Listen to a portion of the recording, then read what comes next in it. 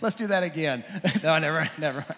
Hey, my name is Mark. I'm one of the pastors here, and I'm so glad that you're here today uh, in the venues and online. Uh, and today we're talking about um, questions for God. And the question that I'm having today is um, Is God real? So that's what we're going to look at. We're going to look at Is God real? Now, we could say, Nope, and then we're just going right now, so that's okay. But we're going to actually say, there probably is a God okay? And so let me tell you psalm 19 is a poem and, and king, uh, king david was the guy who, who got this and he said and so king david said in psalm 19 he says the heavens declare the glory of god. Let me say that again. The heavens declare the glory of god. The skies proclaim the work of his hands isn't that amazing? What it's saying is that basically when you look up in the skies and you see that, you know, the sun, the moon, the stars, all these things, all of a sudden you just realize that there has to be someone who created this. There has to be somebody. We call him God. You can call it whatever you want, but we call it God. This is it. Again, the heavens declare the glory of God. The skies proclaim the work of his hands. Basically, you know what God is saying? God is saying, Look around. Look around. Look everywhere. Because everywhere it shows that I am here, that, that God is here. That is what God does. This is what he does. It's just, it's amazing when you stop to think about this. But, but everyone wonders about God from time to time. It's the, na- it's the nature of, it's the, of faith. So, let me give you a verse. Hebrews 11, Hebrews 11, verse 1 says this What is faith? Stop and think about that. In your mind, what, what does that mean? What is faith? It is the evidence, it's the evidence of things we cannot yet see. If we could see it, it wouldn't be faith. We have to look and see what God is doing. And I'm going to tell you, uh, I'm going to tell you this is an amazing time because um, sometimes God does things to us. Let me ask you a question. You I'm not going to ask you to, to do anything but raise your hand. Have you, do you know that God has ever spoken to you? If so, raise your hand. Oh, that's so good. Okay. I felt like I was the only one. Okay. Oh my goodness, it's just crazy. You know, let me let me tell you let me tell you a story. Um, when I was uh, when I was in se- about I think 17, I'm 17 years old, and I was out in the country. That's where we lived, and we had cows and we had and horses and everything. And I was out there w- working with the animals, and um, and all of a sudden I mean, I, I heard something, something that wasn't out here, but I heard it in here. And I'm, and I'm 17 years old. I'm out in the country, I'm working with the animals, and all of a sudden I hear this thing. And what I heard is this Mark, I want you to pray for your wife that you don't even know about. And what do you do to, what do you say to that? Really, what, what, do you, what do you say to that? So I'm kind of going, and then I go like, you know, and I, and I start to work with the animals again. And then all of a sudden, again, a little louder, in here, not out here, in here, Mark, I want you to pray for your wife that you don't even know yet. And I thought, after two times, okay. And you know what I did? So I got the horses and the cows and myself, and we all had, we put hoofs and we were praying. no, no we didn't do that. well, we could have. But anyway, but I just right there, right there by the animals, I just said, God, I don't understand what's going on. But Lord, you know who my wife is going to be at some point. So, God, I just pray for her, whoever she is. And over the next, I'm going to say, six, seven, eight years, I would pray for her. Not knowing who she was and what was going on or anything like that. But what's interesting, what's interesting, nine years later, I met her. And we got married. And I asked her, well, excuse me, but no, let me back it up. We, we didn't get married yet. I wanted to make sure if, that, if she was the right one. So I said this I said, when you were a kid, did you almost die of, about something? And she said, Yeah. And so she told me what was going on, where she could die, and all this kind of stuff. And, and I'm going, Okay. I said, um, How old were you when that happened? And she said, I was 14. Well, I am three years older than her, and I was 17. And I'm going, the, the, the math is working. So let's get married. No, I don't. that's, that's not the reason why I did that. but, but I'll tell you, I mean, God does things like this. I'll tell you, if you say that God doesn't speak to you, you're not listening. God talks to us, God tells us things to do, and we have to listen. Kind of like me, the first time I'm like, oh no, that, that's, that's was crazy. But the second time I'm like, okay, this is real. God speaks to us. And if He hasn't spoken to you, you're not listening. God is a great God. He loves to talk to us. But for some reason, we just don't listen. Oh my goodness. Wow. So, so I got married to the right girl. And God says, Look at the stars. Look at the stars. Because that points to me, God, that I am here, that I created everything you see the sun, the moon, the stars, everything. That is a pointer to show that God is here and He's real. That is what He does. And I'm going to tell you, oh man. So last night, I went into my, uh, I went out in the backyard because it was finally kind of a nice day. And, um, and it was dark.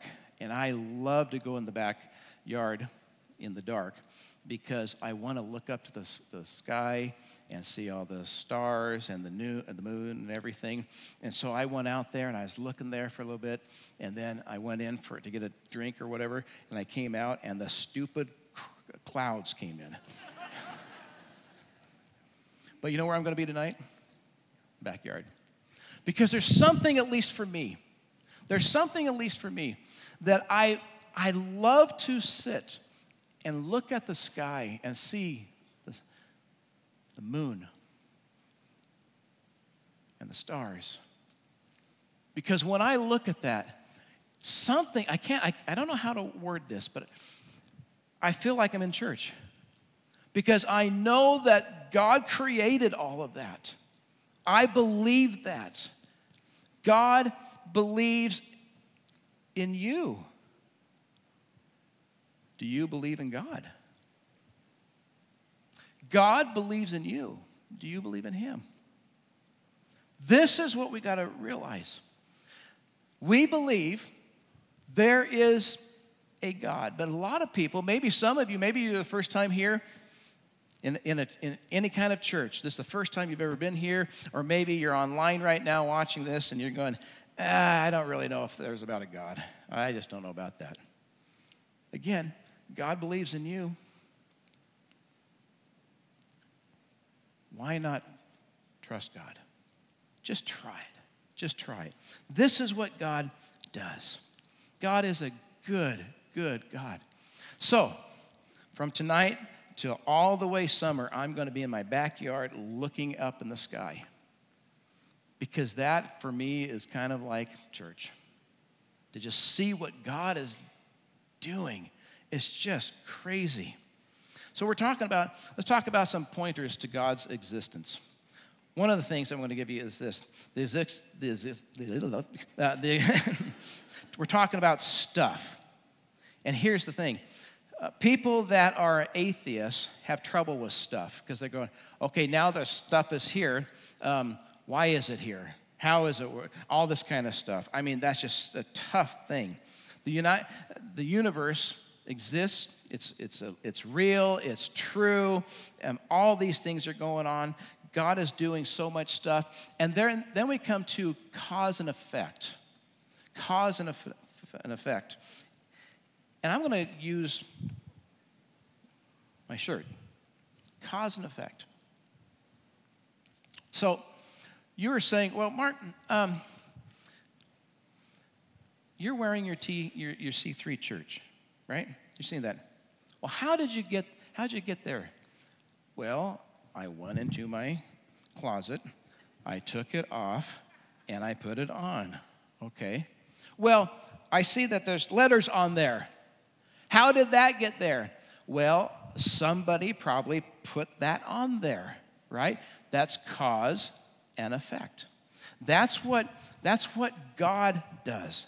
God does those things. That's a crazy thing when you stop to think about it. But this is what we have to know God understands everything.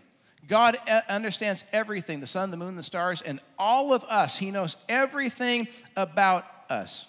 And the reality is this God is the only person in the whole world and over the, the, the stars and everything else.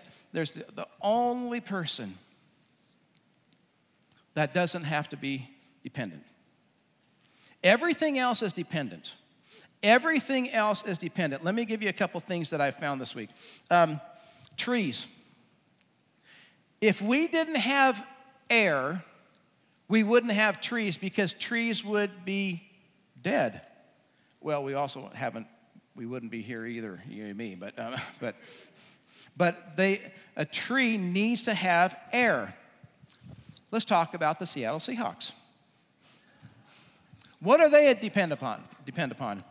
They're about, they, they need to have players to, to exist. They need fans. They need, they need to have a, a person that'll pay their, their stuff. All of these different things that they are doing. And for some reason, some reason, the Seahawks are dependent on all these other people. It's just crazy when you stop and think about it. Think about the sun. The sun is dependent on the solar system and on gravity and a, probably a whole bunch of other things, things that I probably don't even know about. Even the sun is dependent. But I'm going to tell you, God is not dependent. God is the one that takes care of all of this stuff this world, this universe, you, me. God is the only one who doesn't have to be dependent. This is what he does. It's just crazy when you stop to think about it. So let me kind of let me try to dumb this down to make it simple for most of us. And here's the things we're going to look at. I'm going to talk to you about a lot of different things, but I'm going to tell you the, how, how some people think what happened. So let me just let me, let me give this to you.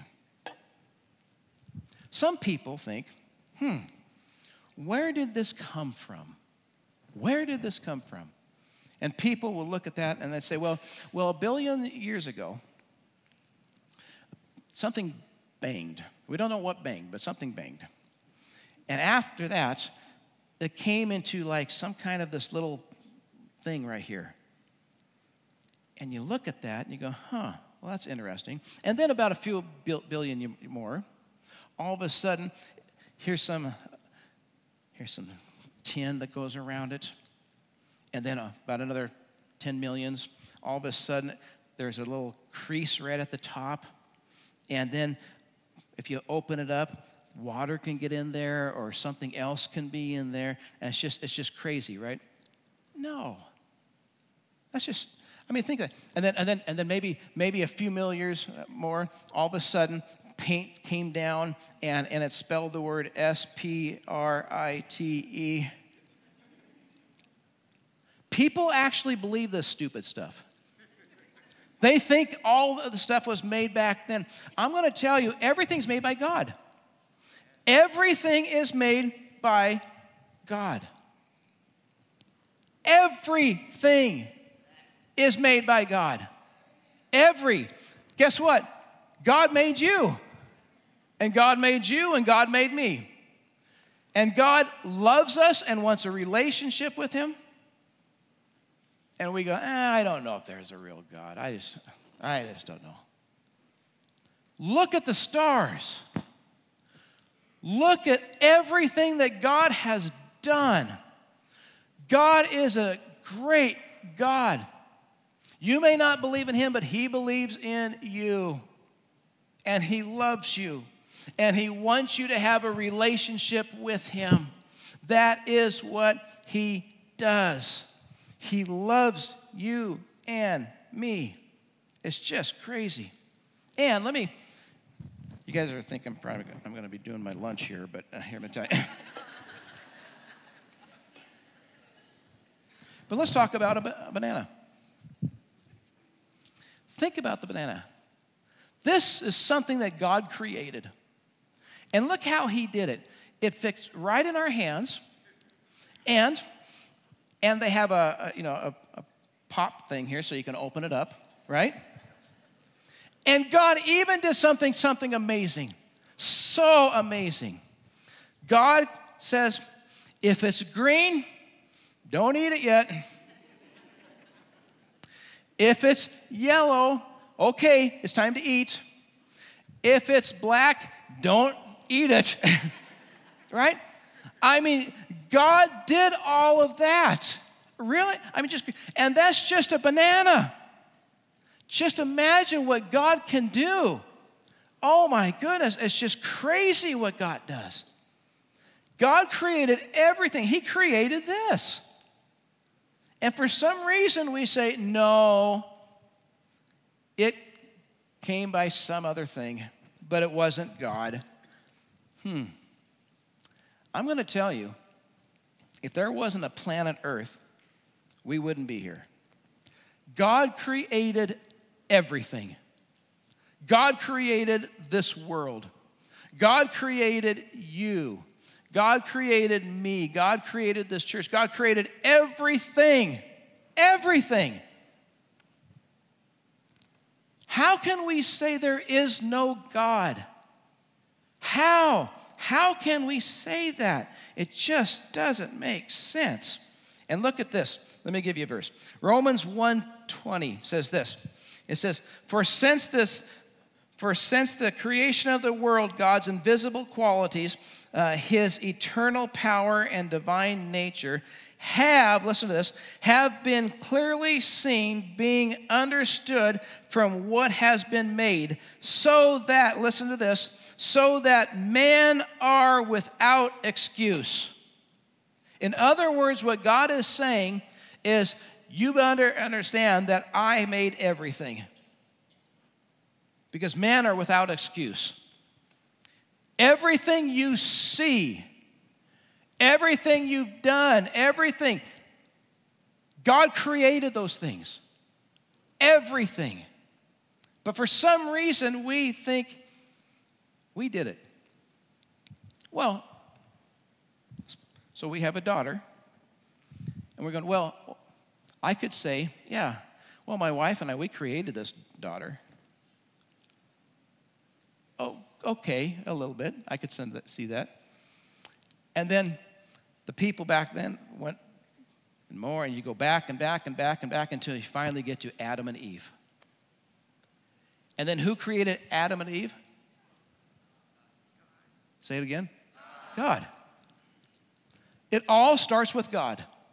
Every, everything starts with God. Everything starts with God. This is what God does. Do you believe that? Do you believe that there is a God? Because he believes in you. And he loves you, and he wants a relationship with you, and he cares for you. That is what he does. He just wants to be there, he wants to help in all these things. And one of our pointers we're going to talk about is this our sense of right and wrong. Oh, my goodness. Uh, can I ask you a question? I want to ask you a question. How many of you, just I'm just going to have you raise your hand. How many of you have done something wrong and you knew it?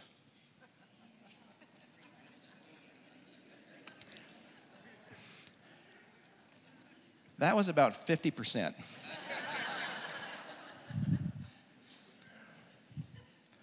so, the ones that did not raise their hand are saying, I've never done anything wrong at all. Wow. Okay, that's great. That's awesome. Okay. Oh, you're going to hell, but that's fine. Uh, um, preach. oh, my goodness.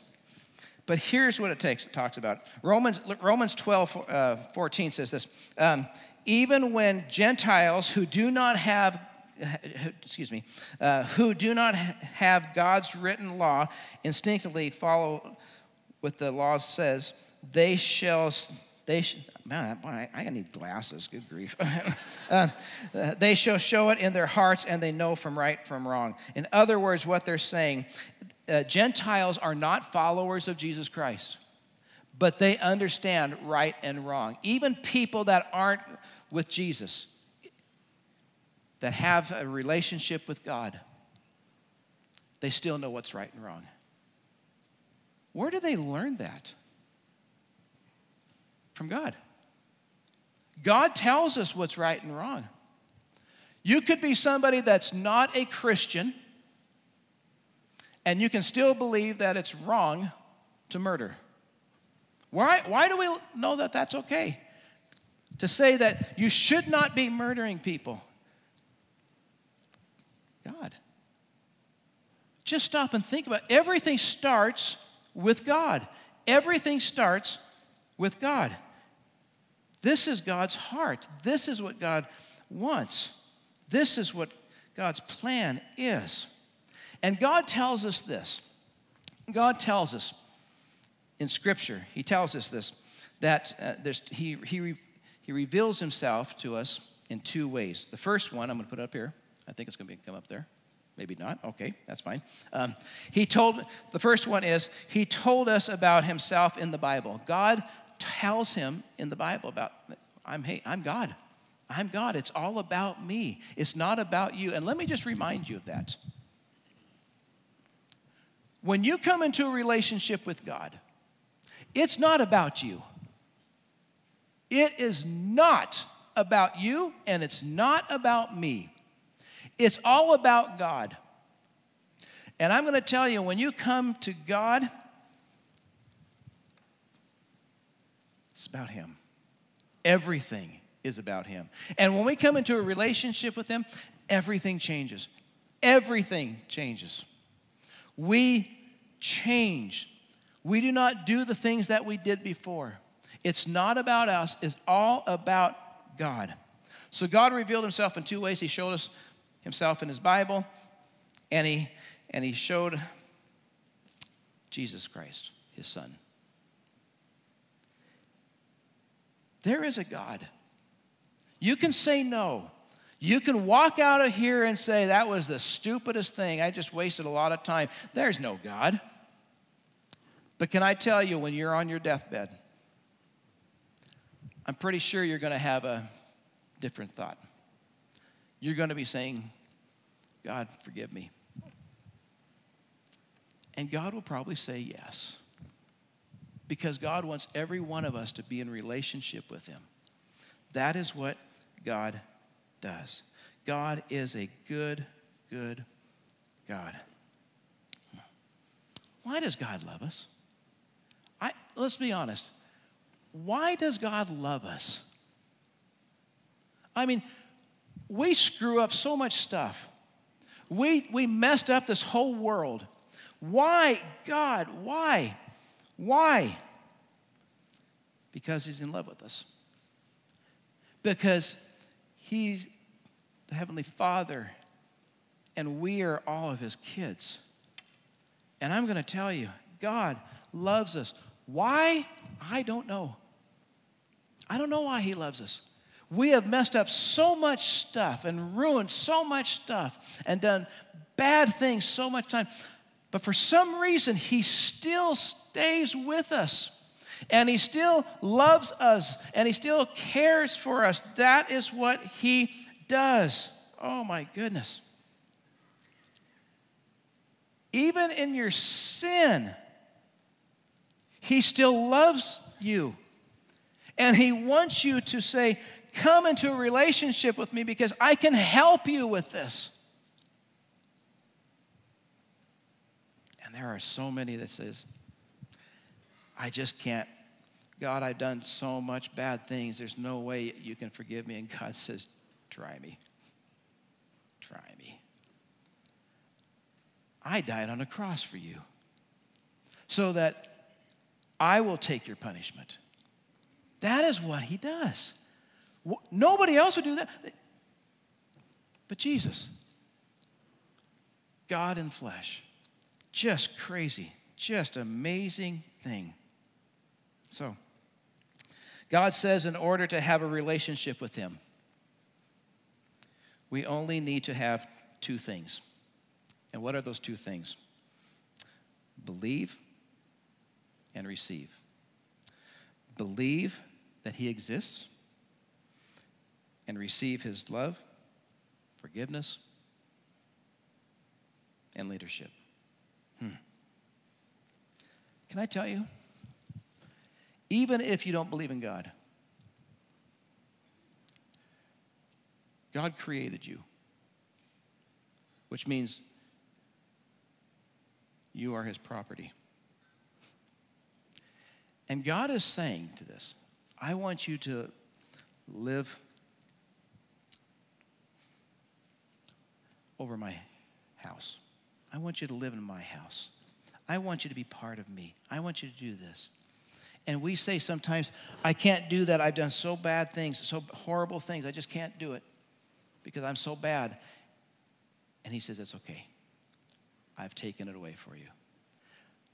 And I love you, and I want you to come into a relationship with me. That's the God we have. There is a God. He believes in you. You are His property. He created you. And He loves you and He wants you to come into a relationship with Him. Today, I'm going to close out with a song, and we're going to show it right now.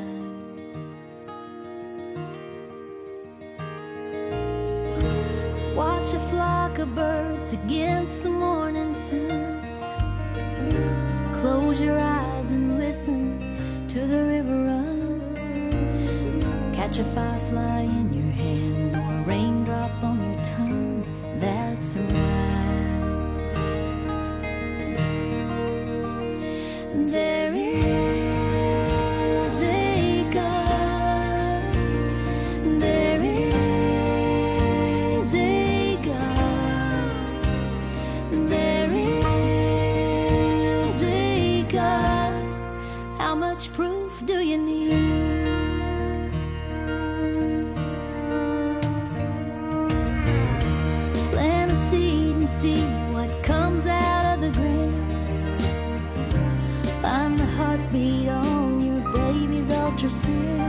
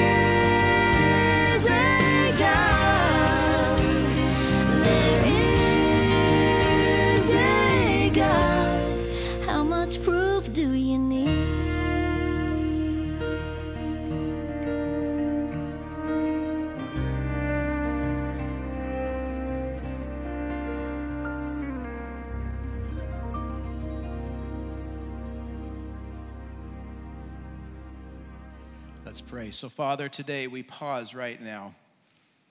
And Lord, we just thank you for all that you've done for us. You love us, you want us to have a relationship with you.